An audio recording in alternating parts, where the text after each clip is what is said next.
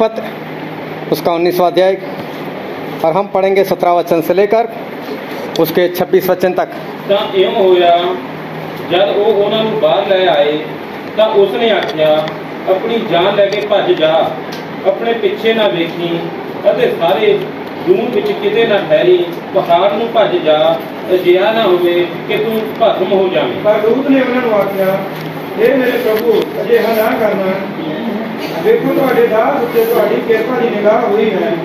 ਔਰ ਤੁਸੀਂ ਆਪਣੀ ਦਇਆ ਨੂੰ, ਜੋ ਮੇਰੀ ਜਾਨ ਨੂੰ ਜਿਉਂਦਾ ਰੱਖਣ ਲਈ ਮੇਰੇ ਉੱਤੇ ਕੀਤੀ ਵਧਾਇਆ ਹੈ। ਪਰ ਮੈਂ ਪਹਾੜ ਠੀਕ ਨਹੀਂ ਭੱਜ ਸਕਦਾ। ਮਤੇ ਮੇਰੇ ਉੱਤੇ ਕੋਈ ਬੁਰਾਈ ਆ ਪਵੇ ਔਰ ਮੈਂ ਮਰ ਜਾਵਾਂ। ਵੇਖੋ ਨਾ, ਇਹ ਨਗਰ ਭੱਜਣ ਲਈ ਨੇੜੇ ਹੈ, ਔਰ ਇਹ ਨਿੱਕਾ ਜਿਹਾ ਵੀ ਹੈ। ਮੈਨੂੰ ਉੱਥੇ ਭੱਜ ਜਾਣ ਦਿਓ। ਕਿ ਉਹ ਨਿੱਕਾ ਨਹੀਂ ਹੈ, ਸੋ ਮੇਰੀ ਜਾਨ ਜਿਉਂਦੀ ਰਹੂਗੀ। ਤਾਂ ਉਸਨੇ ਉਹਨਾਂ ਤਾਂ ਉਸਨੇ ਉਹਨੂੰ ਆਖਿਆ ਵੇਖ ਮੈਂ ਤੈਨੂੰ ਇਸ ਗੱਲ ਵਿੱਚ ਵੀ ਮੰਨ ਲਿਆ ਹੈ। ਮੈਂ ਇਸ ਨਗਰ ਨੂੰ ਜਿਹੜੇ ਲੈ ਕੇ ਗੱਲ ਕੀਤੀ ਗੱਲ ਕੀਤੀ ਨਹੀਂ ਢਾਵਾਂਗਾ ਛੇਤੀ ਕਰ ਉੱਥੇ ਨੂੰ ਭੱਜ ਕਿਉਂਕਿ ਮੈਂ ਕੁਝ ਨਹੀਂ ਕਰ ਸਕਦਾ। ਜਦ ਤੱਕ ਤੂੰ ਉੱਥੇ ਨਾ ਜਾਵੇਂ ਇਸ ਲਈ ਉਸ ਨਗਰ ਦਾ ਨਾਮ ਸਵਾਰ ਰੱਖਿਆ ਗਿਆ। ਸੂਰਜ ਧਰਤੀ ਤੇ ਚੜਿਆ ਚੜਿਆ ਹੀ ਸੀ ਕਿ ਦੂਤ ਸਵਾਰ ਵਿੱਚ ਜਾ ਵੜਿਆ। ਅਤੇ ਯਹੋਵਾ ਨੇ ਸਦੂਮ ਵਾਲੇ ਮੂਰੇ ਉੱਤੇ ਆ ਗੰਧਕ ਆ ਕੇ ਯਹੋਵਾ ਦੀ ਵੱਲੋਂ ਆਕਾਸ਼ ਤੋਂ ਬਰਸਾਈ ਅਤੇ ਉਸਨੇ ਇਹਨਾਂ ਨਗਰਾਂ ਨੂੰ ਔਰ ਸਾਰੇ ਦੂਰ ਨੂੰ ਔਰ ਸਾਰੇ ਨਗਰਾਂ ਦੇ ਵਸਨੀਕਾਂ ਨੂੰ ਔਰ ਜ਼ਮੀਨ ਦੀ ਅੰਗੂਰੀ ਨੂੰ ਨਾਸ਼ ਕਰ ਸੁੱਟਿਆ ਪਰ ਉਸ ਤੀਵੀ ਨੇ ਪਿੱਛੇ ਮੁੜ ਕੇ ਦੇਖਿਆ ਤਾਂ ਉਹ ਲੂਣ ਦਾ ਥੰਮ ਬਣ ਗਈ परमेश्वर पिता का वचन हमारे लिए बहुत ही आशीषित है और परमेश्वर पिता का वचन सच्चा है और बाइबल में लिखा है यदि सच्चाई को जानोगे तो सच्चाई तुम्हें आज़ाद करेगी। आज एक बार फिर बहुत ध्यान से परमेश्वर के वचन को समझना सुनना ताकि कानों के ज़रिए हम उसको हृदय में उतार पाए और उसके अनुसार चलकर हम परमेश्वर के स्वर्गराज के वारिस बन सके। हालेलुया। तो बहुत ध्यान से वचन को सुनना अपना ध्यान परमेश्वर के वचन में बनाए रखना। और शैतान नहीं चाहता कि आप लोग सही से वचन सुनो। इसलिए वैसी हरकतें करता रहता है। लेकिन हमें उस सारी हरकतों से दूर रहना है। क्योंकि शैतान का शुरू से काम यही रहा है कि वो परमेश्वर के लोगों को भरमाए। परमेश्वर के लोगों को पाप में लेकर जाए। जब परमेश्वर ने आदम और हवा को बनाया था और परमेश्वर ने उनको कहा था कि जो भले बुरे का पेड़ है उसका फल तुम्हें नहीं खाना चाहिए। लेकिन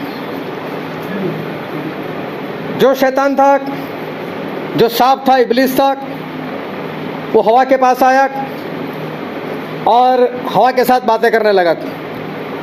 और हवा को कहने लगा कि क्या परमेश्वर ने तुम्हें सारे फल खाने को मना किया है?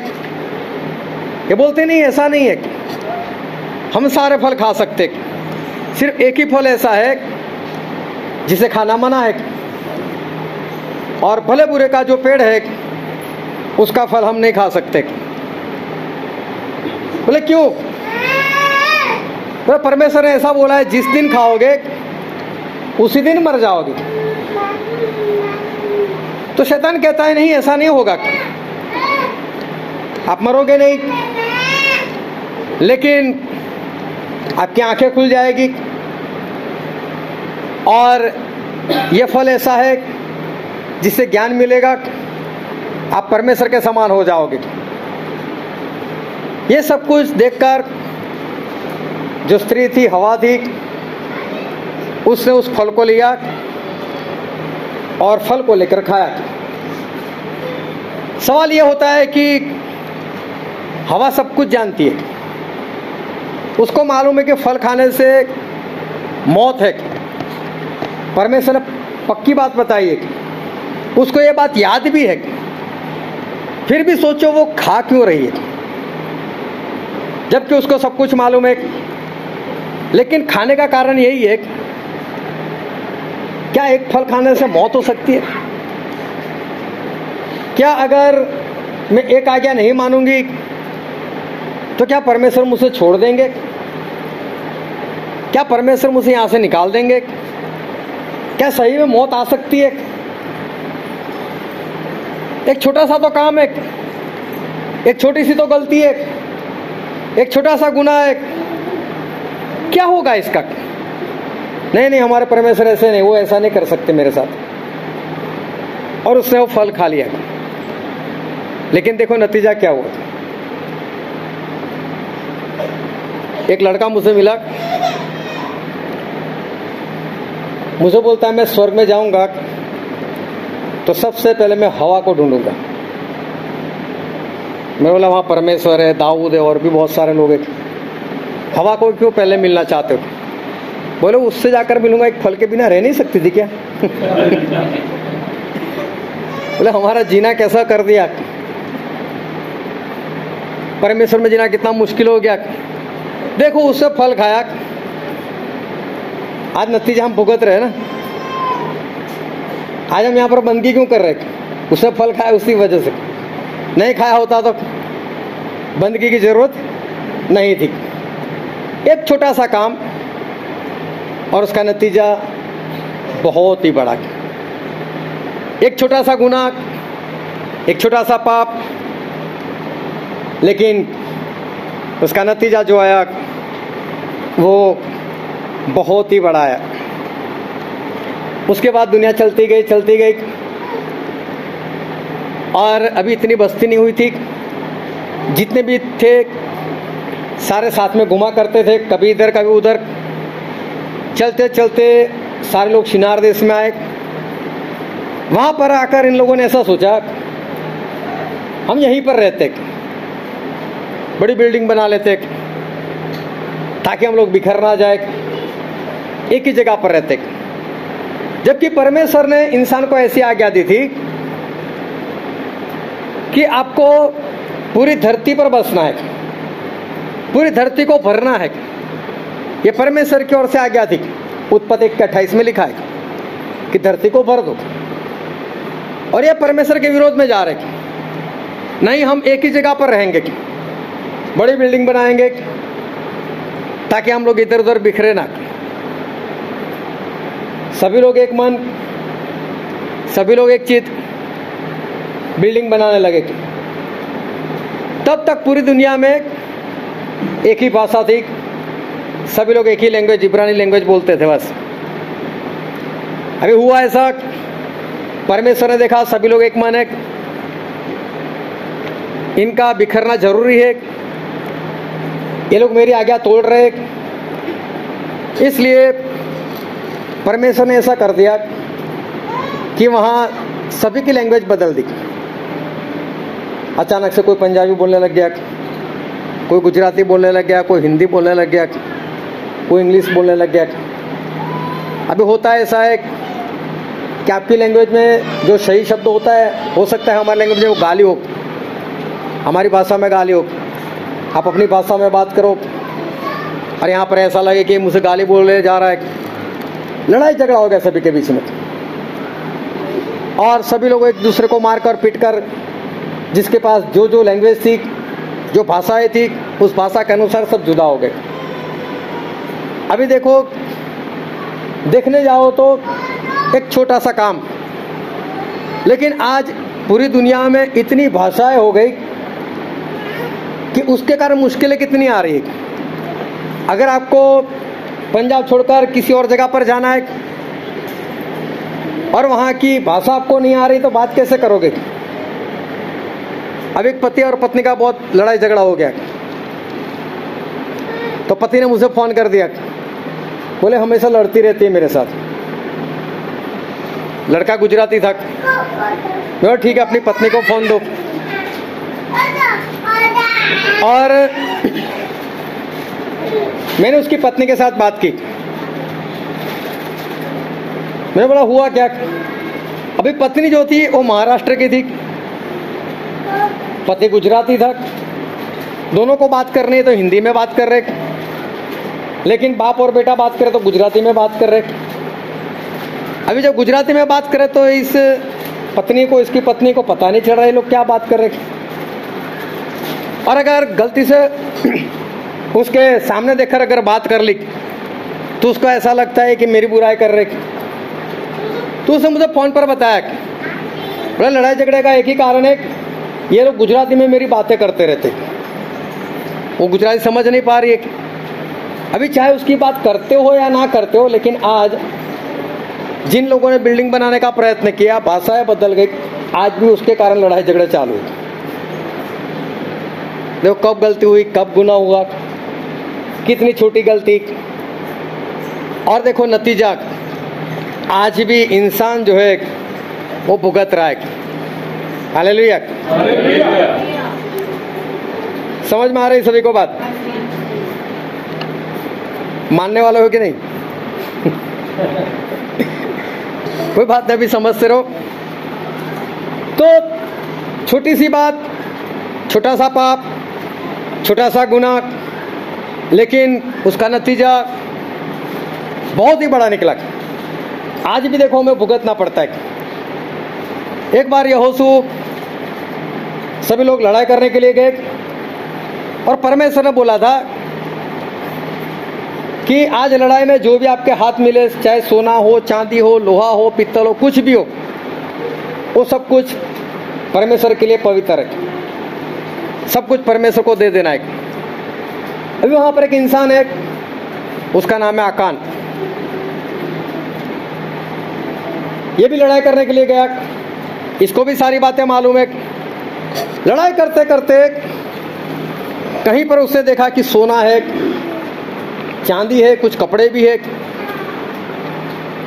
उसने आसपास में देखा तो कोई दिखाई नहीं दे रहा है। बोले, मुझे तो कोई नहीं दिख रहा है। चलो मैं इसे ले लेता हूँ। अपने पास रख लेता हूँ। जबकि उसको ये करना था, परमेश्वर के लिए दे देना था। इसने देखा मुझे कोई नहीं देख रहा है। और उसने वो सोना, चांदी अपने तंबू में जाकर उसे छुपा लिया। फिर से लड़ाई हुई। फिर लड़ाई करने के लिए जाना था। जहाँ पर जाना था, छोटा शहर था। लेकिन उस वक्त इसराइल के लोग वहाँ पर मार खाकर भागे। छत्तीस लोग मारे गए। कुछ लोग घायल होकर भागे। यहोसू वो मिला पाले तंबू के सामने जाकर मुँह के बल गिर पड़ा। परमेश्वर ऐसा कैसे हो सकता है? हमारे लोग मर कैसे सकते? हमारे लोग नाश कैसे हो सकते? परमेश्वर ऐसा क्यों? लेकिन एक आकान की गलती के कारण नतीजा इतना भारी हुआ कि इसराइल के 36 लोग मर गए। जो आज तक हारे नहीं थे, उनके जीवन में हार आ गई। इतना ही नहीं, परमेश्वर ने बोला यहोसू खड़ा हो जा। और देखो इसराइल ने गुनाह किया है, पाप किया है। सभी को अपने कुल के हिसाब से खड़ा कर। और मैं बारी बारी से उस इंसान को निकाल कर तेरे सामने खड़ा कर दूँगा। यहोसू ने भी बोला, देखो, परमेश्वर ऐसा करने वाले। अगर आकांक्ष चाहते हैं तो बाहर आकर बोल सकते हैं, गलती मुझसे हो गई, ये गुना मेरे से हो गया, मुझे क्षमा करो या जो भी है। लेकिन ना क्षमा मांगी, ना गुनाह को कबूल किया, और आखिर में उसका नाम आया और यह सुना, परमेश्वर को बोला, परमेश्वर मैं क्या करूँ? बोले, सिर्फ़ आकान को नहीं, उसके सारे परिवार को ही खत्म कर दो, पत्थर मार मार कर मार दो। और देखो, एक गलती, एक गुनाह इसराइल के 36 लोग मारे गए। और आकान का पूरा परिवार जो है, वो पूरा परिवार, वो खत्म हो गया। बहुत ध्यान से आज परमेश्वर के वचन को समझना। ये मत समझना, ये सब पुराने नियम की बातें हैं। और अभी तो हम नए नियम नए नियम में जीवन जीते जो पुराने नियम के परमेश्वर है, वही नए नियम के परमेश्वर है। अनानिया और सफीरा, उन्होंने ज़मीन बेचकर कुछ पैसा अपने पास रखा। ये नए नियम की बात है। और दोनों ने एक दूसरे के साथ बात कर ली कि हम पत्र से और सभी लोगों से ऐसा ही कहेंगे कि हमने इतने पैसे में ही ज़मीन बेची, जो पैसा पास में रखा है, उसका ज़िक्र नहीं करना है, नहीं बताना है। जबकि वो बता देते, अपने पास रखते तो कोई गुनाह नहीं है। परमेश्वर ऐसा ने बोला कि ज़मीन बेच बेच कर पैसे दिया करो। अपनी मर्ज़ी है। लेकिन फिर भी इन लोगों ने कुछ पैसे अपने पास रखे, बताया नहीं। और जब पत्रस से उसके पति से पूछा तो उसका पति बोल रहा है हाँ हमने इतने में ही ज़मीन बेची है इससे एक रुपया ज़्यादा नहीं आया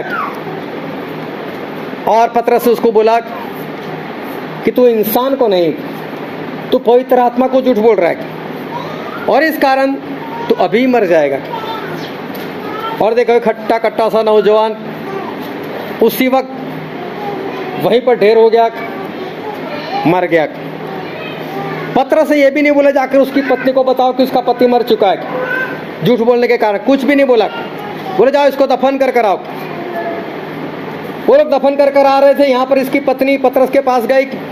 पत्रस से उसको भी पूछ लिया, ये पत्नी नहीं जानती मेरा पति मर चुका है, दफन भी हो चुका है। पत्र से पूछा, क्या इतने में ही आपने ज़मीन बेची? बोला हाँ इतने में ही। पत्र से उसको भी बोला, तुम दोनों ने ऐसा क्यों तय किया? कि पवित्र आत्मा को झूठ बोले। और देखो, तेरा पति मर चुका है। उसको दफन करने वाले दफन कर कर वापस आ रहे। और वो तुझे भी ले जाएँगे, क्योंकि तू भी मरने वाली है।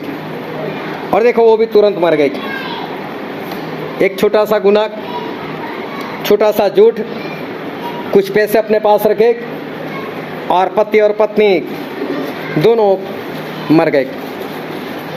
मैंने जितने लोगों की बात की अभी तक ये ऐसा नहीं कोई अन्य जाति से ऐसा नहीं जो परमेश्वर को नहीं जानते ऐसा नहीं इनमें से कोई विश्वास ही नहीं। हालेलुया। ये सारे परमेश्वर को जानने वाले ये सारे परमेश्वर को मानने वाले ये सारे विश्वासी लोग ये आम लोगों ने गुना नहीं किया। ये सारे गुना उन लोगों ने किया जिनके पास परमेश्वर के वचन थे।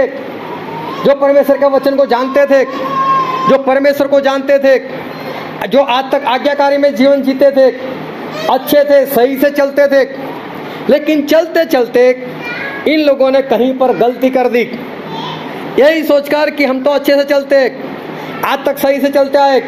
अगर एक गलती हो गई तो क्या होगा? एक गुना हो गया तो क्या हो गया क्या परमेश्वर हमको माफ़ नहीं करते? क्या परमेश्वर हमको क्षमा नहीं कर सकते? जो भी उनकी सोच थी लेकिन ये मारे गए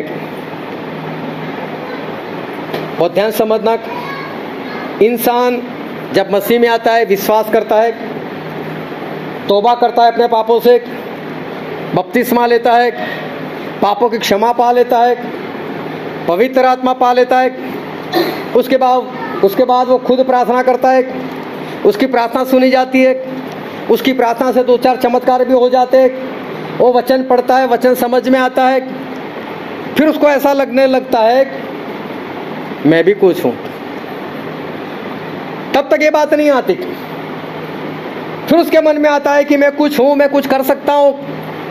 मेरे साथ भी परमेश्वर बातें करते हैं। मैं भी दो वचन जान चुका हूँ। मैं भी प्रार्थना करता हूँ, चमत्कार होते और तब जो पाप उसके, उसको पहले बड़े बड़े दिखाई देते थे वो पाप अभी उसको बहुत छोटे दिखाई देते। अभी उसको ऐसा लगता है, इतना करने से क्या होगा?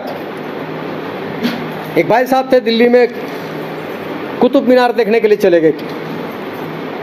वो नीचे से ऊपर ऐसे कर कर देख रहे। बोले, इतना बड़ा कैसे बनाया होगा?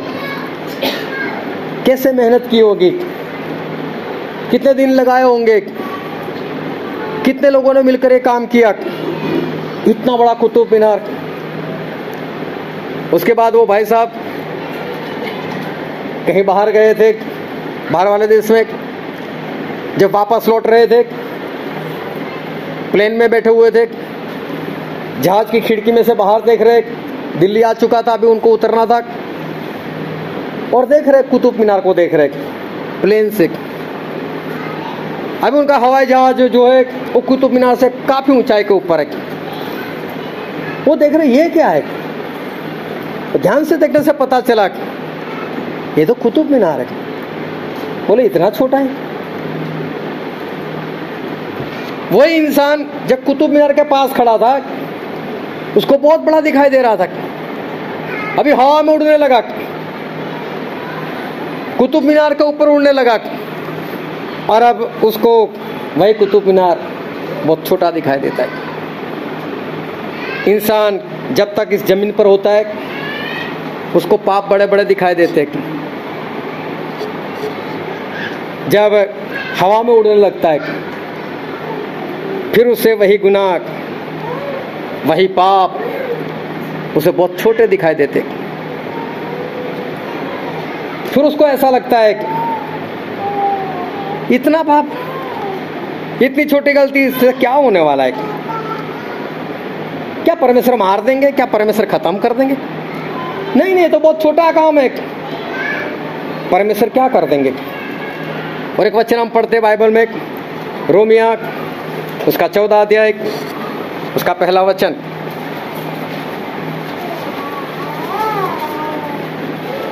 ਜਿਹੜਾ ਕੋਈ ਨੇਜਾ ਵਿੱਚ ਕੱਚਾ ਹੈ हम्म, ਉਹਨੂੰ ਆਪਣੀ ਸੰਗਤ ਵਿੱਚ ਰਲਾ ਤਾਂ ਲੋ ਪਰ ਭਰਮਾਂ ਦੇ ਵਿਖੇ ਫੈਸਲੇ ਲਈ ਨਹੀਂ यहाँ पर लिखा है कि अगर कोई विश्वास में कमज़ोर है तो बोले उसके साथ बातचीत करते हुए अपने साथ मिला दो। लेकिन उसके बाद जो लिखा है, वो ये कहना चाहता है, लेकिन किसी के साथ विवाद मत करो।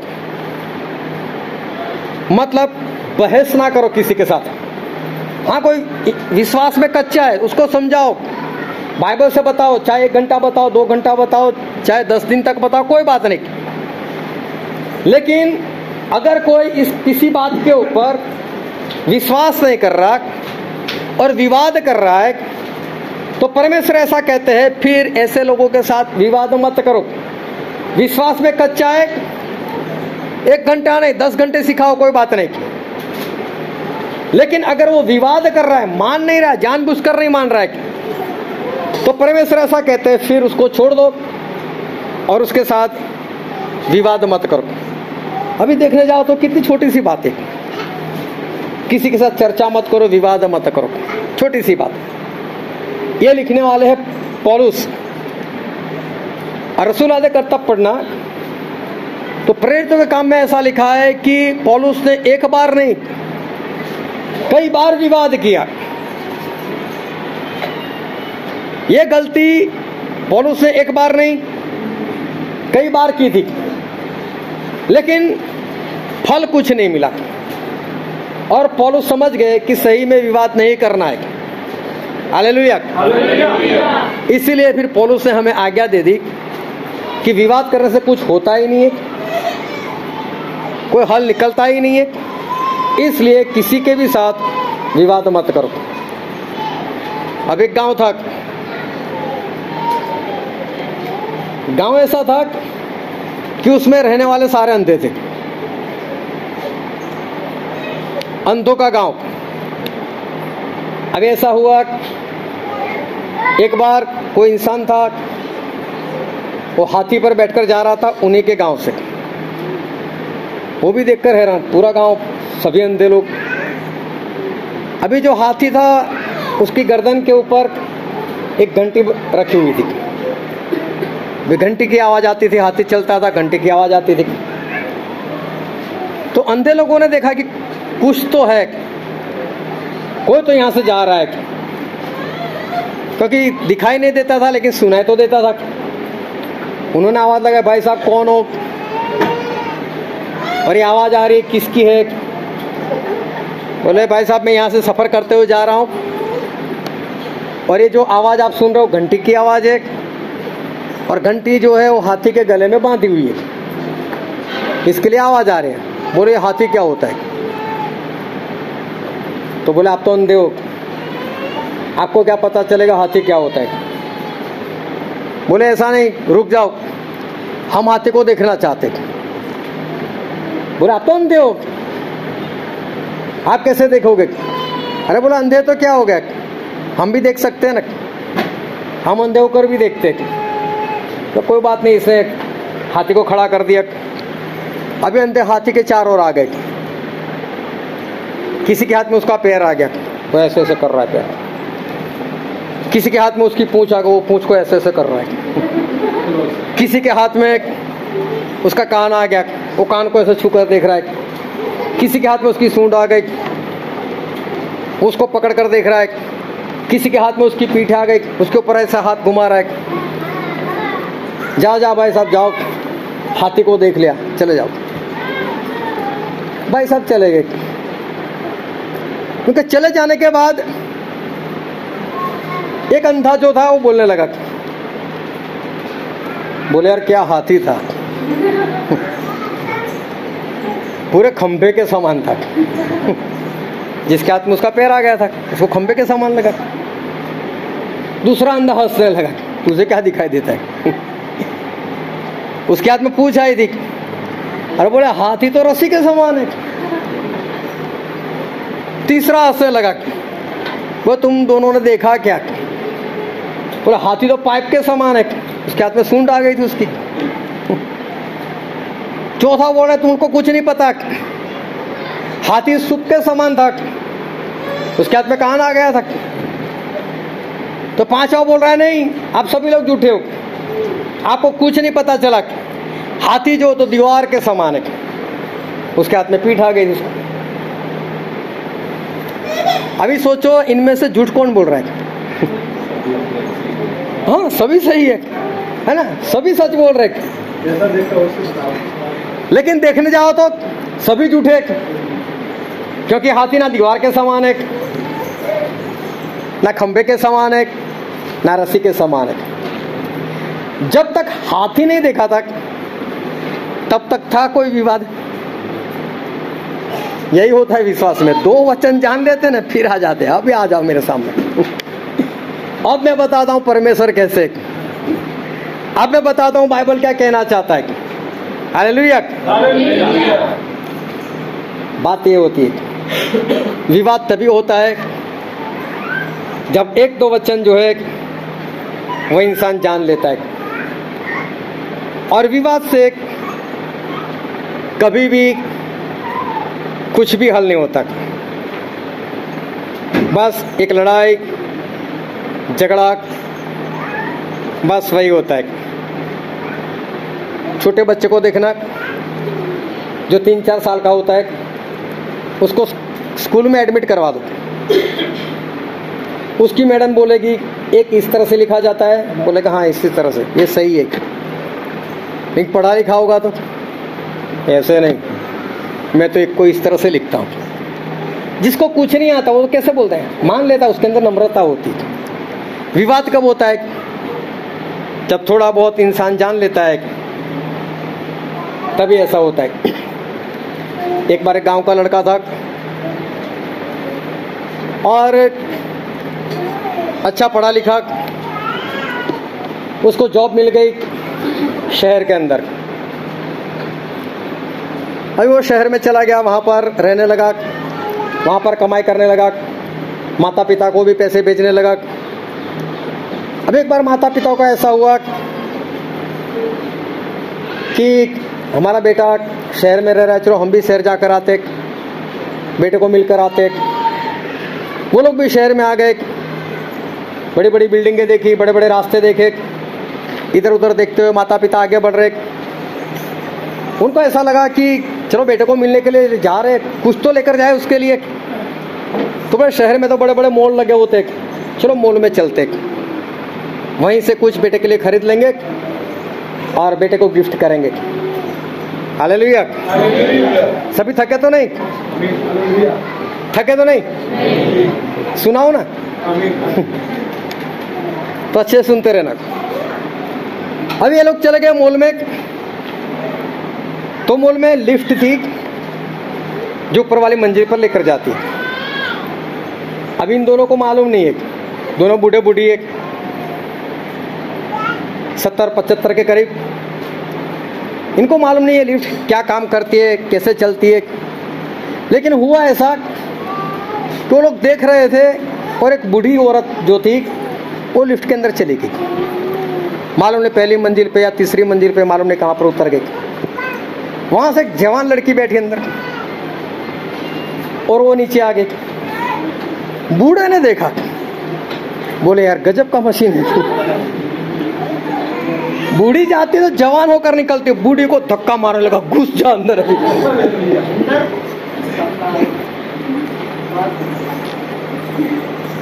हालेलुया। उसको ऐसा मेरा जो भी होना हो, मेरी पत्नी तो जवान हो जाए। उसको लगा माँ धक्का मारने के लिए। वो बोले, मुझे इसमें नहीं जाना। अभी देखो, लिफ्ट का इस्तेमाल क्या है, दोनों को नहीं मालूम। इस कारण ये लोग कुछ गलती कर रहे हैं। हम जो मसीह को मानने वाले हैं, परमेश्वर बोलते हैं, आत्मा से चलो। ताकि शरीर की इच्छाओं को पूरा ना करोगे। शरीर आत्मा के विरोध में इच्छा करता है। आत्मा शरीर के विरोध में। लेकिन जो शरीर के काम है, वो तो हमें नाश में ले जाते हैं, नरक में लेकर जाते हैं। लेकिन आत्मा से चलते हैं तो हम स्वर्ग में पहुँच पाते और जो आत्मा से चलता है, उसे बाइबल और परमेश्वर ऐसा कहते हैं आत्मिक इंसान है। हालेलुया। लेकिन आत्मिक किसको कहा जाता है? किसे हम कहें कि आत्मिक? उसका अर्थ कई लोगों को नहीं मालूम। बंदगी में जाना समय से जाना आराधना करना नाचना कूदना ताली बजाना प्रभु बोझ लेना कभी उपवास कर लेना कभी प्रार्थना कर लेना, कभी पूरी रात प्रार्थना बिताना। क्या हम कह सकते हैं कि ये सब कुछ हम करते हैं? मतलब हम आत्मिक लोग हैं। क्या ये सब कुछ करते हैं? इसका मतलब ये है कि इंसान आत्मिक बन गया। जिस तरह से बूढ़े बूढ़े को नहीं मालूम कि लिफ्ट किस काम में आती है इस तरह से कई लोगों को ये बात नहीं मालूम कि आत्मिक होना मतलब क्या है? आत्मा से चलना मतलब क्या है? आज बहुत ध्यान से समझ लेना। आत्मिक होना, आत्मा से चलना, इसका अर्थ होता है जो वचन आप सुनते हो, उसको अपने चरित्र में लेकर आना। उसको अपने चाल चलन में लेकर आना। सुनना, ग्रहण करना बाहर जाकर लोगों को बताना। ये मत समझना कि हम आत्मिक हो गए। आत्मिक का मतलब होता है जो वचन हमने सुना, जो सच्चाई हमने जानी, उसके अनुसार चलना। शरीर के कामों को दूर करना। संसार के कामों से अलग हो जाना। आत्मा से चलना। इसको कहते हैं आत्मिक। सिर्फ़ सुनना सिर्फ़ ग्रहण करना सिर्फ़ बंदगी में जाना सिर्फ़ नाचना कूदना आनंद करना ये सिर्फ़ इतना करने से कोई भी इंसान जो है वो आत्मिक नहीं बन सकता। हालेलुया। लेकिन आत्मा में चलना शरीर के कामों को दूर करना जो वचन हम सुनते हैं उसको चरित्र में लेकर आना चाल चलन में लेकर आना उसको कहते हैं आत्मिक। एक बार मूसा जो थे इसराइल प्रजा को लेकर जा रहे थे। हुआ ऐसा कि इनके पास पानी नहीं था। सभी लोग क्रोध में आकर मूसा से बोलने लगे, मूसा, पानी दे पानी दे पानी दे। तो मूसा परमेश्वर के पास गए। परमेश्वर को बोला, परमेश्वर, इनके पास पीने के लिए पानी नहीं, पानी चाहिए। तो एक वचन हम पढ़ते निर्गमन का पुस्तक, उसका सत्रह अध्याय। निर्गमन सत्र हाँ कुछ। उसका पाँच और छह वचन। फिर यहोवा ने मूसा नु आख्या देखो परमेश्वर ने मूसा से ऐसा कहा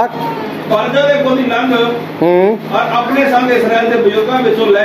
देखो एक एक बात को बहुत ध्यान समझना परमेश्वर ने मूसा को ऐसा कहा कि मूसा अपने साथ इज़राइल के जो अगुए लोग उनको साथ में ले फिर आगे बढ़ो। अपने टांगे नूजड़ा का ते मारा सी अपने हाथ में चलाए हाँ और अपनी जो लाठी है उसको अपने हाथ में ले फिर? और चल। और चल हाँ। वेग में ते अगे की चट्टान पे खड़ा हाँ मैं वहाँ पर चट्टान के पास खड़ा हूँ। और तू चट्टान को मारेगी। और तू चट्टान को उस लाठी को मारना। तब उसमें पानी निकलेगा ते पर जो पीवे। परमेश्वर ने मूसा को ऐसा बोला एक बार फिर से बहुत ध्यान समझना। परमेश्वर ने ऐसा बोला कुछ अगुओं को अपने साथ ले ले उस चट्टान के पास जाक अपनी लाठी अपने हाथ में लेकर जाक और फिर सबके सामने उस चट्टान को लाठी मारना पानी निकलेगा और पानी पीना। हालेलुया। ऐसा ही लिखा है ना? इतना ही लिखा है ना? यहाँ पर हाथ रखना। एक दूसरा वचन हम पढ़ते जो है गिनती उसका भी अध्याय। अभी यहाँ पर भी ऐसा हुआ कि इज़राइल लोगों के पास पानी नहीं है। पानी नहीं है। एक बार फिर ले लोग क्रोधित होकर मूसा से कह रहे मूसा, हमारे पास पानी नहीं है। प्यासा मारने के लिए लेकर आए क्या? मूसा ने भी इस बार फिर परमेश्वर से प्रार्थना की। परमेश्वर फिर इसके साथ, मूसा के साथ बातें की। और हम पढ़ते गिनती, उसका बीस अध्याय।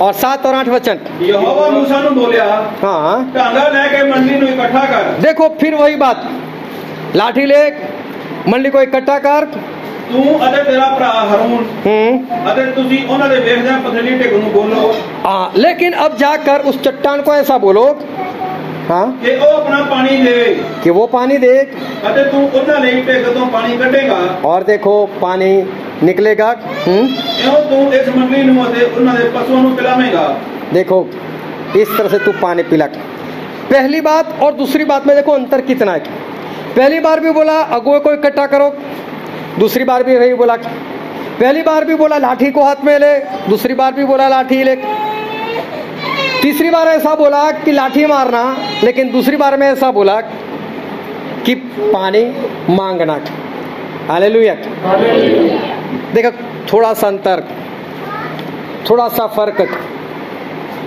मूसा भी क्रोध में थे।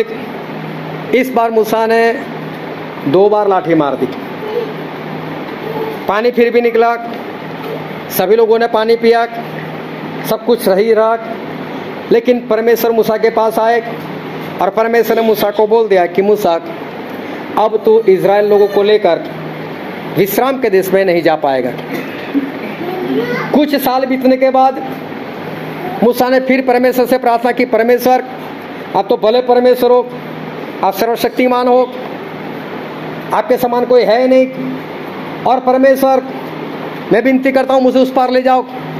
और परमेश्वर ने मूसा से कहा, मूसा, मैंने पहले भी तुझे मना किया है, आज फिर बोल देता हूँ, नहीं लेकर जाऊँगा मतलब नहीं और इस बारे में फिर कभी मेरे से बात मत करना। देखो जो मूसा उस विश्राम के देश में जाने के लिए निकले थे, एक गलती की वजह से विश्राम के देश में नहीं जा पाए। देखने जाओ तो कितनी छोटी गलती है। समझने जाओ, अगर मूसा की जगह पर अपने आप को रखो तो देखो, परमेश्वर दो बातें पहले के समान ही बोल रहे मूसा को पहले वाला अनुभव याद है कि परमेश्वर ने ऐसा बोला था, लाठी उठा, मार दे एक अनुभव हुआ था। देखो, आत्मा में चलने के लिए अनुभव हमारे कोई काम का नहीं होता है। परमेश्वर के पास एक अंधा आया परमेश्वर ने थूक कर उसका चिकड़ बनाकर, उसकी आँखों में लगाकर, उसको बोला, जा, जाकर धो, शुद्ध हो जा, देखने लग। और देखो, चंगा हो गया। एक दूसरा अंधा आया उसकी आँखों में डायरेक्ट थूक कर बोला देखने लग। एक अंधा और आया तो प्रभु उसने बोला, क्या तुझे विश्वास है कि मैं तुझे आँख दे सकता हूँ? बोला हाँ। बोला, फिर तेरे विश्वास के अनुसार हो जा। देखो, किसी एक बात को परमेश्वर ने पकड़ कर नहीं रखा कि अंधे को चंगा करना है तो बस इसी तरह से करना है। परमेश्वर हर बार अपना जो काम है, उसकी रीति को बदल देते मूसा को यही बात याद है, पहली बार भी बोला था, लाठी ले, मार। तो इस बार परमेश्वर भूल गए। लाठी मारने को बोल नहीं रहे। हो सकता है परमेश्वर से गलती हो गई। मूसा की सोच होगी और मूसा ने लाठी मार दी। चाहे मूसा ने सोचा, चाहे मूसा ने नहीं सोचा, लेकिन बात बहुत छोटी थी। पानी मांगना और मूसा ने उस लाठी को उस चट्टान के ऊपर दो बार दे मारा। और देखो उसका नतीजा इतना भारी निकला कि मूसा विश्राम के देश में नहीं जा पाए। हालेलुया। एक छोटी सी गलती लेकिन उसका नतीजा बहुत बड़ा आता है। एक बार एक जवान लड़का सुबह उठकर जब रसोई में गया तो बाप और बेटा दोनों ही रहते थे माँ थी नहीं। पिता ने हलवा बना कर रखा था। दो प्लेट में हलवा निकाल कर रखा था। और एक प्लेट के ऊपर, हलवे के ऊपर दो बादाम दिख रही थी। लेकिन दूसरी प्लेट में एक भी बादाम नहीं थी। पिता ने बोला, बेटा, तुझे जो प्लेट पसंद आए ले ले। बेटा ने बोला, इसमें कौन सी बड़ी बात है? बादाम वाली प्लेट लेंगे। बादाम वाली अपने पास रखी। बिना बादाम की पापा को दी। पापा ने जब अंदर चम्मच मारा और खाने के लिए जा रहे तो नीचे से चार बादाम निकली। बेटा सोच में पड़ गया बोले, गलती हो गई। वो वाली प्लेट लेनी थी जिसमें एक भी बादाम नहीं दिख रही थी। नीचे छिपी हुई थी। अभी तो क्या दूसरा दिन हुआ। इस बार भी लड़का खड़ा हुआ। जब रसोई में जाता है, फिर से दो प्लेट हलवे की। पहले के समान एक के ऊपर दो बादाम, एक दूसरे के ऊपर एक भी बादाम, नहीं एक। पापा ने बोला, बेटे, एक प्लेट तेरे लिए, एक प्लेट मेरे लिए। जो भी पसंद आए रख ले। बोले, ठीक है। इस बार जो दो बादाम वाली थी पापा को दे दी, मालूम था? जिसमें नहीं दिखती, उसमें चार थी। अभी उसमें से एक भी निकली नहीं। अनुभव तो ये था कि जिसमें एक भी नहीं थी, उसमें से चार निकली थी। हो सकता है दूसरी बार ऐसा ना हो। एक लड़का हर बार जब प्रेस करता था कपड़े को तो जो प्रेस हो उसके ऊपर पहले हाथ लगाकर देखता था करंट तो नहीं आ रहा है। अब ऐसे करंट आता भी नहीं कभी तो पुरानी होती है ना कभी तो नुकसान जाता है ना एक बार करंट लगा, बोलो, कल तक तो नहीं लगता था। वो तो कल की बात ठीक है। हमारा अनुभव जो होता है ना, हो सकता है, अनुभव के हिसाब से काम ना हो। अभी तीसरे दिन ये लड़का उठ गया। तीसरे दिन भी रसों में देखता है इस बार भी दो प्लेट एक में दो बादाम दिख रही है एक में एक भी नहीं दिख रही। अभी सोच में पड़ गया दो वाले लेता हूँ, फंसता हूँ। बिना बादाम वाले लेता हूँ तो भी फंसता हूँ। बोले, पापा हाँ एक काम करो, आज आप खुद चॉइस कर लो। मैं नहीं करने वाला। पापा ने दो बादाम वाले उठा ली। बोले, तेरे लिए। जिसमें एक भी नहीं थे, बोले, तेरे लिए। जब उसे चम्मच अंदर लगाया, उसमें से आठ बादाम निकली। पापा तो जानते हैं ना पापा ने बना कर रखा है हम लोग यही काम करते एक वचन पढ़ते कहो तक नीति वचन उसका तीसरा अध्याय चार पांच और छह वचन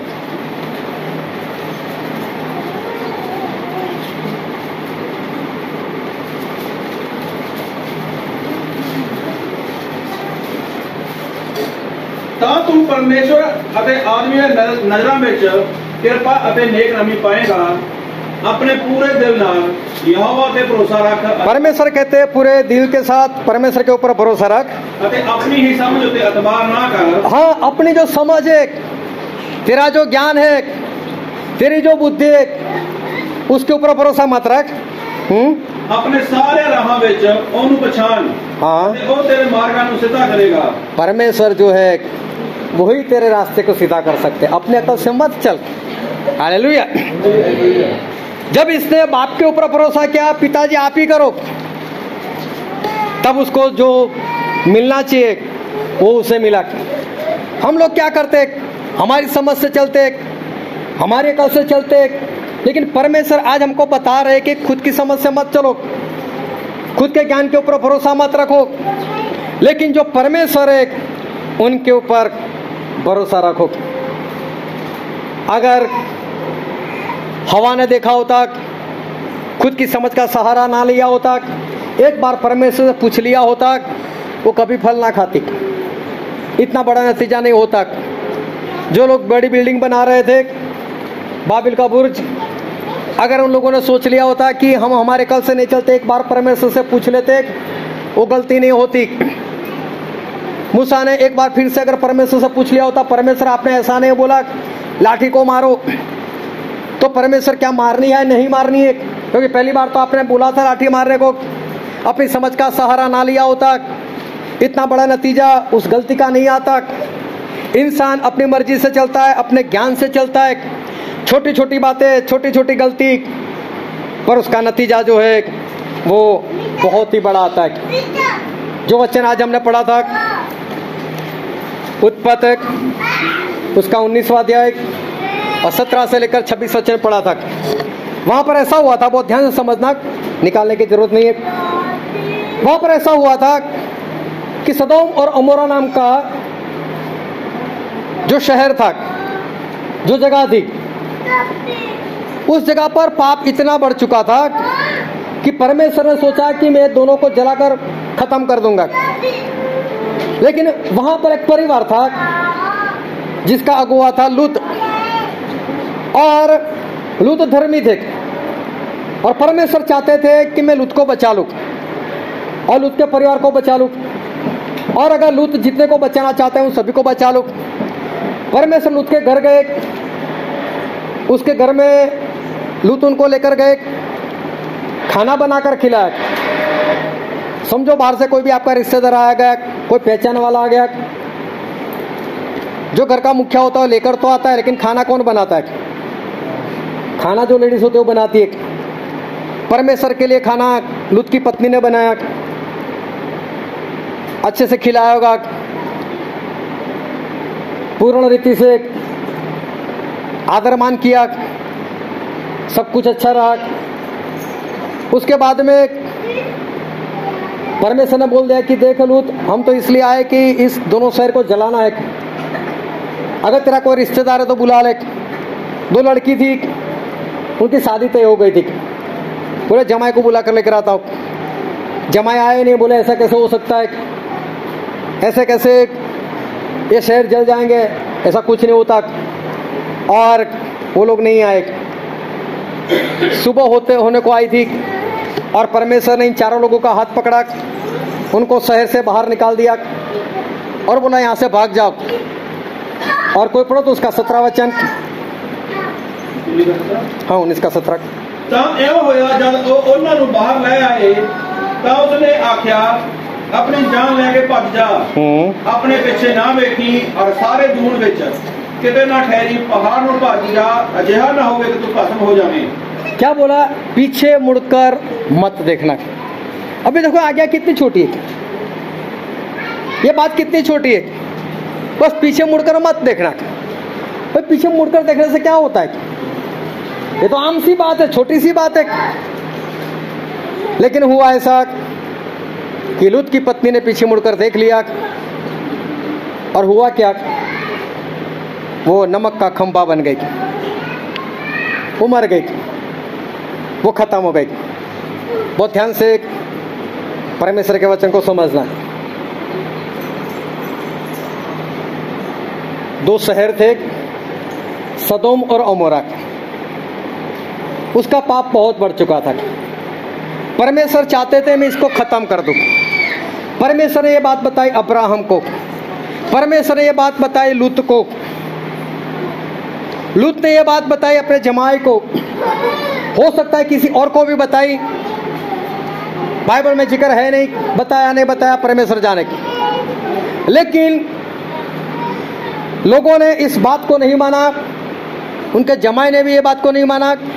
ऊपर से उनका ठट्ठा किया और आखिर में परमेश्वर ने इन चारों लोगों को, लूत, उसकी पत्नी और दोनों बेटियों को हाथ पकड़कर वहाँ से निकाल दिया और बोला, यहाँ से भाग जाओ। फिर भी लुत की पत्नी जो है, वो मुड़ कर देखती है और वो भी नाश हो जाती है, नमक का खंबा बन जाती है। और बाइबल में ऐसा लिखा है, लुका रची सुसमाचार, लुका, उसका सत्रह अध्याय और उसका अट्ठाईस और उनतीस पढ़ो तो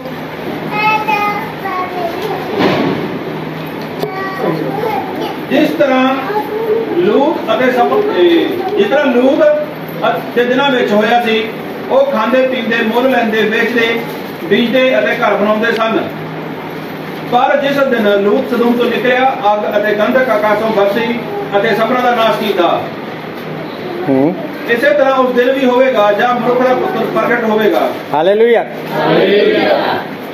और ध्यान समझना अगले संडे में हूँ नहीं। इसलिए अगले संडे का भी आज ही बोलकर जा रहा हूँ। अभी ये मत समझो वचन आ गया तो अभी खत्म होने को है। हाले हालेलुया। शांति से बैठे रहना। परमेश्वर ऐसा कहते हैं कि जब लुत के दिनों में हुआ ऐसा ही प्रभु के दिनों में भी होने वाला है। क्या हुआ लुत के दिनों में? उनको जलाकर भस्म करना था, सभी का नाश करना था। और जिन जिनको लुत ने बताया, उनमें से किसी ने लुत की बात नहीं मानी, ठट्ठा किया, पाप में पड़े रहे, और आखिर में उन सभी का नाश हो गया। लूत जो है, वो बचाया गया।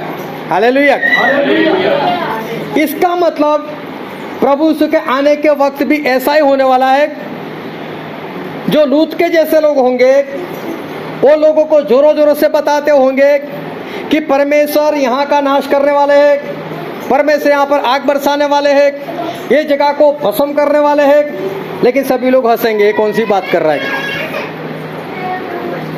ये तो मेरे दादाजी ने भी सुनकर रखी थी।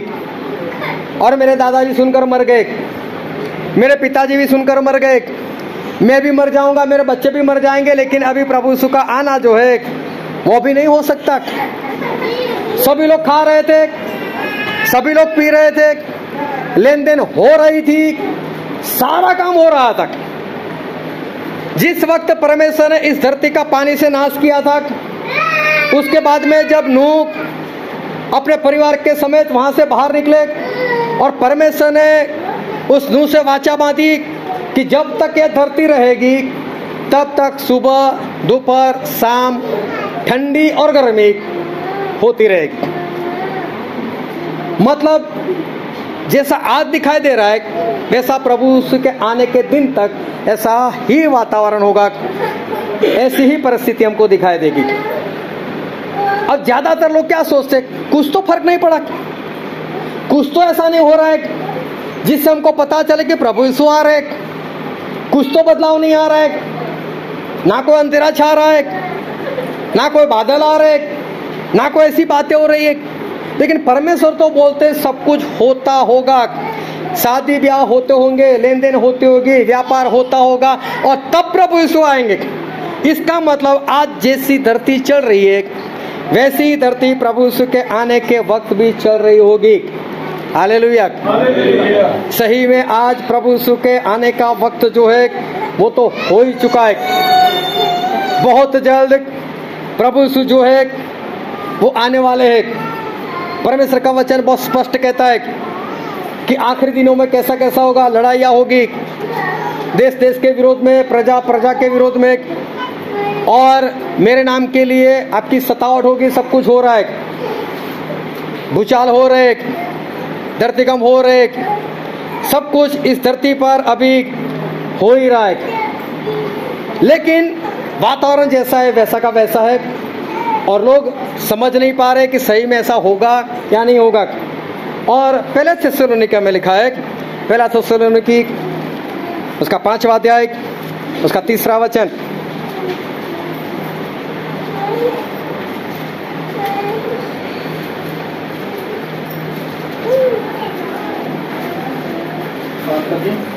पांच का तीन हाँ ਜਦ ਲੋਕ ਆਖਦੇ ਹੋਣਗੇ ਭਈ ਅਮਨ ਚੈਨ ਅਤੇ ਸੁਖ ਸਾਂਦ ਹੈ देखो सब लोग जब ऐसा बोलते होंगे कि शांति है सुख चैन है कुछ भी गड़बड़ी नहीं हो रही है हाँ ਤਦ ਜਿਵੇਂ ਗਰਭਵਤੀ ਇਸਤਰੀ ਨੂੰ ਪੀੜਾ ਲੱਗਦੀਆਂ ਹਨ हाँ ਤਿਵੇਂ ਉਹਨਾਂ ਦਾ ਅਚਾਨਕ ਨਾਸ਼ ਹੋ ਜਾਵੇਗਾ ਅਤੇ ਪਰਮੇਸ਼- ਕਦੀ ਨਾ ਬਚਣਗੇ परमेश्वर बोलते हैं, अचानक से नाश हो जाएगा एक गर्भवती स्त्री को जैसे पीड़ा होती है वो अचानक से आ जाती है वो दिन में आए रात को आए सुबह आए कुछ कहा नहीं जा सकता।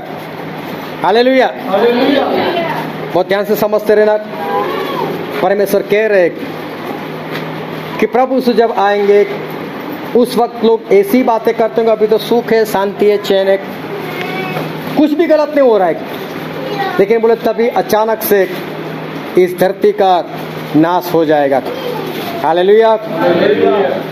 इसका मतलब अगर कोई ऐसा सोच रहा है कि कुछ गड़बड़ी हो, कुछ इधर उधर की बातें हो, और तब मैं कुछ करूँ तो समझ लेना ऐसा नहीं होने वाला। फिर मत्ती चौबीस में लिखा, मत्ती चौबीस, उसका ग्यारह वचन पढ़ो तो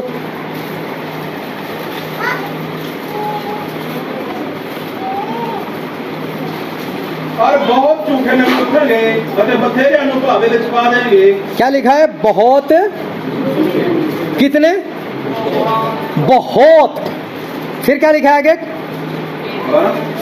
नहीं वही ग्यारह ਔਰ ਬਹੁਤ ਝੂਠੇ ਨਬੀ ਉੱਠਣਗੇ ਅਤੇ ਹਾਂ। ਬਥੇਰਿਆਂ ਨੂੰ ਭਾਵੇ ਵਿੱਚ ਪਾ ਦੇਣਗੇ हाँ मतलब बहुत लोगों को भरमाएंगे देखो इस शब्द के ऊपर अपना ध्यान लगाना बहुत झूठे नबी इसका मतलब झूठे लोग ज़्यादा खड़े होंगे। वो ज़्यादा लोग होंगे। मतलब सच्ची शिक्षा बहुत कम रह जाएगी। फिर दूसरी बात क्या लिखा है? बहुत लोगों को भरमाएँगे इसका मतलब बहुत लोग होंगे जो भरमाए गए होंगे। इसका मतलब प्रभु से की बातें करने वाले, आत्मा से चलने वाले, आत्मा की बातें करने वाले, स्वर्ग में जाने की बातें करने वाले बहुत ही कम। ज़्यादा बातें सिखाने वाले झूठे लोग झूठी बातें सिखाने वाले ज़्यादा लोग और झूठी बातें सीखने वाले ज़्यादा लोग होंगे। इसका मतलब बहुत कम हिस्सा है जो लोग सच्चाई सिखाते होंगे और सच्चाई में चलते होंगे। हालेलुया। अभी देखो इसराइल के लोग जब बाहर निकले इनकी गिनती की तो छः लाख तीन हज़ार पाँच सौ पचास थे उसमें से दो को छोड़कर छः लाख तीन हज़ार पाँच सौ अड़तालीस लोग खत्म हो गए ये सभी लोग चिल्ला चिल्ला कर बोल रहे थे, हमको मारने के लिए लेकर आया, हमको प्यासा मरने के लिए लेकर आया। उनको देखकर ऐसा लगता है, इतनी सारी भीड़, ये बोल रहे तो यही सच्चे है। लेकिन यहूस और काले, वो दो ही थे, जो सच्चाई बोल रहे थे, दोनों कम पढ़ रहे थे, नहीं, ये झूठे होंगे। क्योंकि दो की आवाज़ छः लाख तीन हज़ार पाँच सौ अड़तालीस लोग दबा रहे थे। आज भी यही बात हो रही है। जो सच्चाई है, उसको बहुत सारे लोग उसको दबाए जा रहे उसको दबाए जा रहे और कई बार तो ऐसा हो जाता है, जो सच्चे लोग होते हैं, उनको भी खुद के ऊपर डाउट होने लगता है कहीं ऐसा तो नहीं कि मैं ही गलत चल रहा हूँ। कहीं ऐसा नहीं कि मैं ही झूठा हूँ। कहीं ऐसा नहीं मेरे पास ही झूठी शिक्षा है, इतने लोगों को तो ये बात कर रहे चलो अरे भाग कर उन्हीं के साथ हो जाने दो। हालेलुया। क्योंकि सच्चाई बहुत कम है। सच्चाई में चलने वाले बहुत कम है। इसलिए ऐसा हो जाता है। अपने आप पर भी शक हो जाता है। और फिर बाइबल में लिखा है मत्ती चौबीस और पंद्रह वचन पढ़ो दो उपरांत यह किसी हज़ारों वाली चिन्ह होनी चाहिए लोग यही खबर दानियल नबी ने दी हम्म। पवित्र था खड़ी देखोगे। वाचन समझ लगे। यहाँ पर लिखा है एक ऐसी चीज़ जिससे घृणा आती है। और ये लिखा है मसीह के विरोधी के बारे में। उसको जब आप इज़राइल प्रजा के बीच में खड़ी होते हुए देखो तो समझ लेना कि परमेश्वर का आने का वक्त बहुत पास में है। फिर क्या लिखा है सोलह ਯਹੂਦੀਆਂ ਵਿੱਚ ਹੋਣ हम्म ਪਹਾੜਾਂ ਉੱਤੇ ਭੱਜ ਜਾਣ अब एक एक एक बात को बहुत ध्यान से समझना जब ये घृणित वस्तु जब मसीह का विरोधी वो इज़राइल में जब खड़ा हो जाए तो परमेश्वर ऐसा कहते हैं सोलह वचन फिर से पढ़ो ਤਦ ਉਹ ਜਿਹੜੇ ਯਹੂਦੀਆਂ ਵਿੱਚ ਹੋਣ जब मसीह का विरोधी खड़ा हो जाए तो जो यहूदिया में है हम्म, ਉਹ ਪਹਾੜਾਂ ਨੂੰ ਭੱਜ ਜਾਣ वो पहाड़ की ओर भाग जाए फिर ਜਿਹੜਾ ਕੋਠੇ ਉੱਤੇ ਹੋਵੇ हाँ जो कोठे के ऊपर है ਉਹ ਆਪਣੇ ਘਰ ਵਿੱਚੋਂ ਅਸਬਾਬ ਲੈਣ ਨੂੰ ਹੇਠਾਂ ਨਾ ਉਤਰੇ वो अपने घर में भी ना आए वहीं से भाग जाए फिर ਅਤੇ ਜਿਹੜਾ ਖੇਤ ਵਿੱਚ ਹੋਵੇ जो खेत में खेत में काम कर रहा है ਆਪਣੇ ਲੀੜੇ ਲੈਣ ਨੂੰ ਪਿਛਾਂ ਨਾ ਮੁੜੇ हाँ वो अपना वस्त्र लेने के लिए वापस आए वो वहीं से भाग जाए हाँ ਪਰ ਅਫਸੋਸ ਉਹਨਾਂ ਉੱਤੇ ਜਿਹੜੀਆਂ 19 ਦਿਨੀ ਗਰਭਣੀਆਂ ਅਤੇ ਦੁੱਧ ਚੁਕਾਉਣ ਵਾਲੀਆਂ ਹੋਣ अभी बहुत ध्यान समझना परमेश्वर बोलते हैं जब मसीह का विरोधी आए जैसे ही आपको पता चले परमेश्वर क्या बोलते जो यहूदिया में है, वो वहाँ से कहाँ भाग जाए? पहाड़ों की ओर भाग जाए। जो टेरेस पर खड़ा है, बोले, वो वहाँ से नीचे घर में ना आए, वो वहीं से भाग जाए। और जो खेत में काम कर कर रहा है, अपना शर्ट निकाल कर, बोले, अपना शर्ट भी पहने ना और वहीं से भाग जाए। अभी सोचो, हम यहाँ पर इकट्ठा है अभी। एक उधर दरवाज़ा, एक इधर दरवाज़ा है, बाहर भागने के लिए। दो दरवाजे हैं हमारे पास। अभी समझ लो कि बाहर से दो चार गुंडे लोग आ गए। सभी के हाथ में बंदूकें हैं। और एक गोली हवा में चला ली। और अगर वो बोलते हैं कि जितने यीशु मसीह को मानते हैं, वो मरने के लिए तैयार हो जाए। या तो फिर जो ज़िंदा रहना चाहता है, वो मसीह को छोड़ने के लिए तैयार हो जाए। मैं तो बोलता हूँ, इतना वो बोलेगा ना, उससे पहले तो निकल निकल कर भागना शुरू हो गया होगा।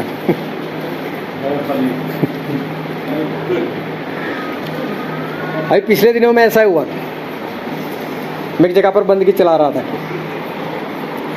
काफ़ी लोग इकट्ठा हुए थे। कोरोना भी चल रहा था। इकट्ठा होना भी मना था। और तब एक भाई साहब आ गए। और हम दूसरी मंजिल पर थे। नीचे दो तीन लोग होंगे। एक ऊपर आ गया "ए, क्या चल रहा है यहाँ पर? क्या हो रहा है? पुलिस को बुलाओ ये बुलाओ। और सभी लोग भागने लगे बोले भागो अभी। किसी ने किसी को कुछ पूछा ही नहीं। कहाँ पर भागना है? कितना भागना है? कहाँ पर पहुँचना है? सभी लोग भाग गए। पाँच मिनट के बाद फ़ोन हॉस्टल में आप कहाँ पर हो? मैं यहाँ पर खड़ा हूँ। दूसरे का फ़ोन आया मैं यहाँ पर हूँ, मैं यहाँ पर, कोई इधर, कोई उधर, कोई पूरब में, कोई पश्चिम में। ये सच्ची घटना मेरे साथ हो गई। बहुत बड़ा एक सीखने को मिला। अचानक से कोई आ गया, अचानक से पूछोगे आप भागोगे कहाँ आपको मालूम ही नहीं कहाँ पर भागना है। और परमेश्वर यही बोल रहे कि जब उस घृणित वस्तु को मतलब मसीह के विरोधी को खड़ा होते हुए देखो, जब आपको पता चल जाए वो खड़ा हो गया है तो बोला, भाग जाओ। अभी मैं बोलता हूँ, कहाँ पर भागोगे? आपके दिमाग में कोई प्लान तो है नहीं। कहाँ पर भागना है? परमेश्वर तो बोलते हैं कि जो यहूदिया में, वो पहाड़ में पहाड़ों के ऊपर चला जाए। कौन देखने के लिए जाएगा कहाँ पर पहाड़ी है? कौन कहाँ पर भागेगा? जो खेत में वो कहाँ पर भागेगा? कौन कहाँ पर भागेगा किसी को नहीं पता चलने वाला परिस्थिति ऐसी हो जाएगी। अभी मैं आ रहा था रास्ते में तो मुझे इतना मालूम था कि अभी मेरा स्टेशन आने वाला है। तो मैं देख रहा था कि मेरा स्टेशन कितनी दूरी पर है। तो मैंने मोबाइल में देखने को प्रयत्न किया तो सामने से उन लोगों ने पूछ लिया, बोला, आप ट्रेन में हो? मैंने बोला हाँ ट्रेन में हो। मैंने यस कर दिया। तो तुरंत उसने मेरा लोकेशन ले लिया कि भाई साहब कहाँ पर है और उनकी ट्रेन कहाँ पर पहुँचे? बोला, आप यहाँ पर पहुँचे हुए। देखो, सिर्फ़ यस करने से उनको पता चल गया, मैं कहाँ पर हूँ? टेक्नोलॉजी इतनी बढ़ चुकी है कि आप मोबाइल लेकर कहीं पर भी जाओगे तो पता चलेगा आप कहाँ पर हो। भागने को एक बार भाग गए, फिर वहाँ से किसी को फ़ोन करते हो। पत्नी पति को फ़ोन करती है, कोई बच्चे को फ़ोन करता है, कोई रिश्तेदार को फ़ोन करता है, भाई साहब, मैं भाग कर यहाँ पर आया हूँ। सुनने वाला सुनेगा। लेकिन जहाँ से मोबाइल चलता है, उनको सब पता भी चल जाएगा आप कहाँ पर हो। आप वहाँ पर सुरक्षित नहीं हो। हालेलुया। बात को ध्यान से समझना। परमेश्वर लुत के पास गए। क्या लुत के पास पैसे नहीं थे? लुत धनवान इंसान था, उसके पास बहुत पैसे थे। बहुत सोना था। बाइबल में लिखने के अनुसार उस शहर में सबसे ज़्यादा पैसे वाला वही था। लुत क्या लेकर निकला वहाँ से? कितना पैसा लेकर भागा? कितना सोना लेकर भागा? जब उसको ऐसा हुआ होगा, अब मैं बूढ़ा हूँ, अब मुझे काम करने की ज़रूरत नहीं, मेरे पास बहुत कुछ जमा है। अब मैं बिंदा से जीवन जीऊँगा। और तभी उसको भागना पड़ा। इतना ही नहीं, सब कुछ छोड़कर भागना पड़ा। अभी देखो उसकी पत्नी वो पीछे पीछे चल रही थी। उसका उत्पत्ति उन्नीस का सत्ताईस पढ़ो तो।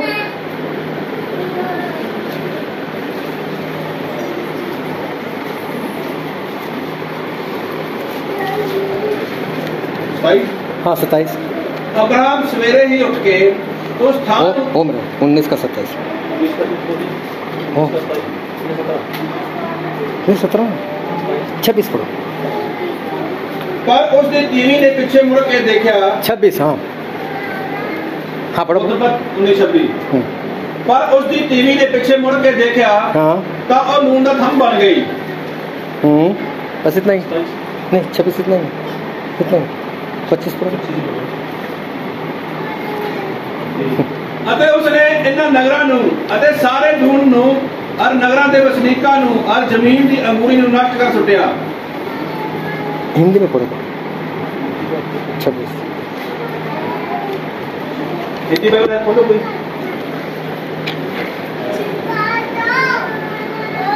उत्पत्त उन्नीस का छब्बीस नहीं सिर्फ़ छब्बीस पढ़ो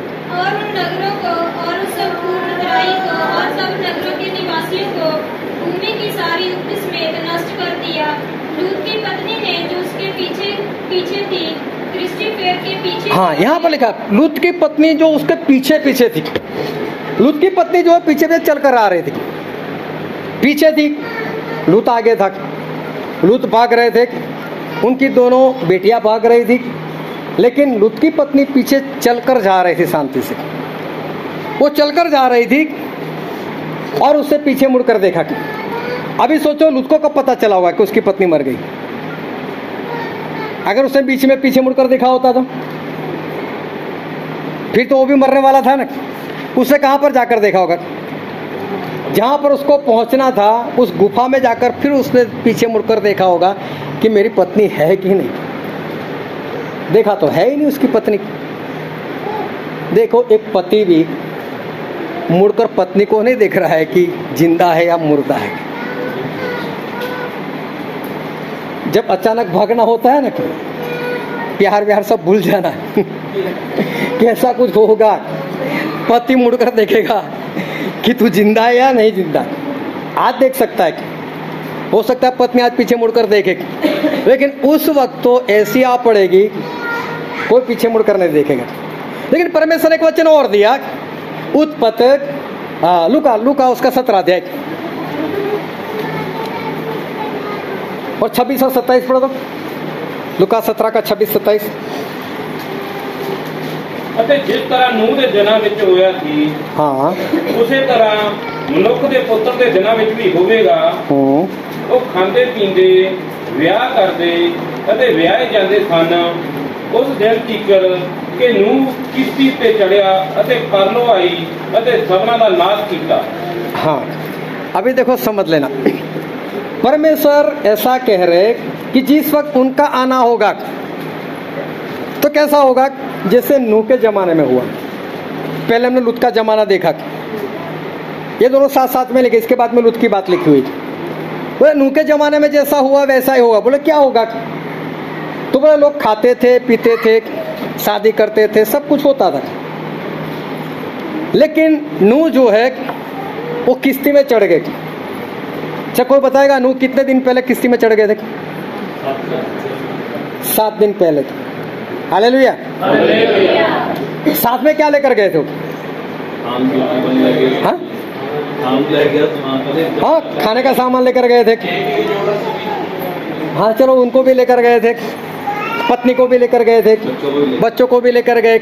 उनकी पत्नियों को भी लेकर गए। और जल प्रलय कब आया? सात दिन के बाद। नू भी भागे, लेकिन वक्त से पहले। उनको परमेश्वर ने नहीं बोला, पीछे मुड़कर मत देखना। क्यों? अभी तो टाइम है। ये लोग पहले काम कर रहे थे। तो परमेश्वर क्या बोल रहे पैसे लेकर जाना भाई सब सोना चांदी जो भी लेकर जाना, खाना पीना सब कुछ साथ में लेकर जाना। सब कुछ लेकर गए। आप भी बचा सकते हो, अपना सोना चांदी पैसा वगैरह कब? अगर वक्त से पहले परमेश्वर की बात को मान ली वक्त से पहले एक आप निकले तो ठीक है वरना लूत के जैसा निकलना हुआ चाहे लूत गए, कोई बात नहीं। लेकिन पत्नी, हालेलुया। एक छोटी सी बात, एक छोटा, छोटी सी गलती, छोटा सा गुनाह, लेकिन हम देख चुके हैं, नतीजा बहुत बड़ा बड़ा है ये भी आज एक छोटी सी बात है। वक्त पर भागना चाहते हो? या वक्त से पहले अपना ठिकाना बना लेना चाहते हो? आपके हाथ में सब कुछ। परमेश्वर बोलते हैं, जैसे नूह के जमाने में हुआ, जैसे लुत के जमाने में हुआ, वैसा ही होने वाला है। लुत की पत्नी ने मुड़कर इसलिए देखा, क्योंकि उसके हाथ में कुछ नहीं आया था। नू और उसकी पत्नी पीछे मुड़कर इसलिए नहीं देख रहे क्योंकि सब कुछ साथ में ही लेकर जा रहे। जहाँ पर आपका धन, वहीं पर आपका मन। अगर आप साथ में लेकर जा रहे हो तो फिर तो पीछे मुड़कर देखने की बात नहीं आएगी। लेकिन आप तो उसको साथ लेकर जाना नहीं चाहते, वक्त से पहले जाना नहीं। अगर नहीं हुआ तो प्रभु यीशु नहीं आए तो उससे पहले मेरा मरना हो गया तो तो कोई बात नहीं, तू नरक में जाएगा। फिर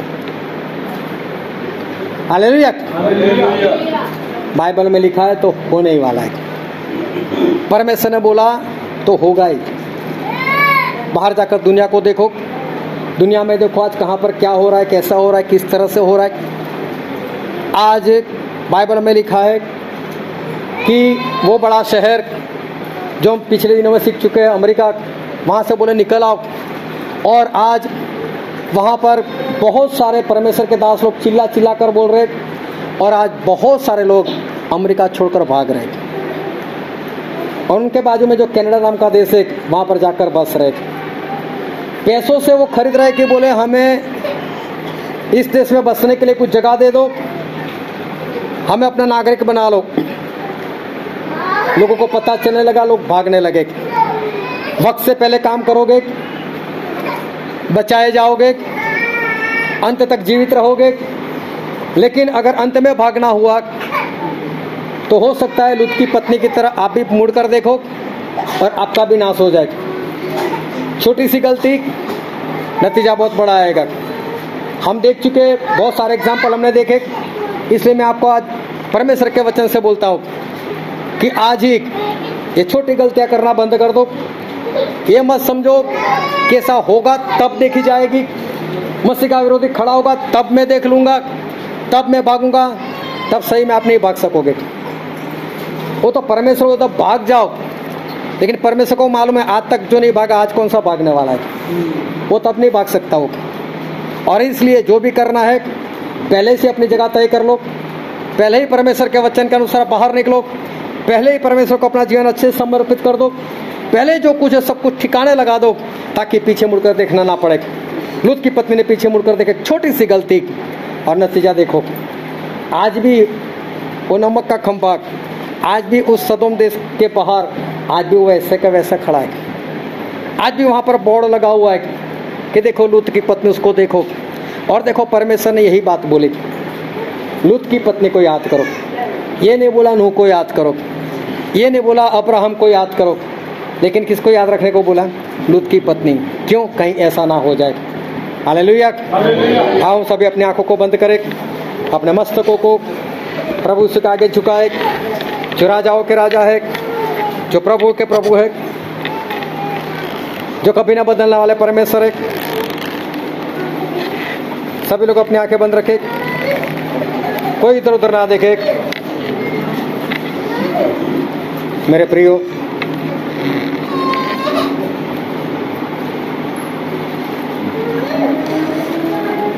परमेश्वर का वचन वो सच्चा है। परमेश्वर का वचन वो दो धारी तलवार से भी तेज है।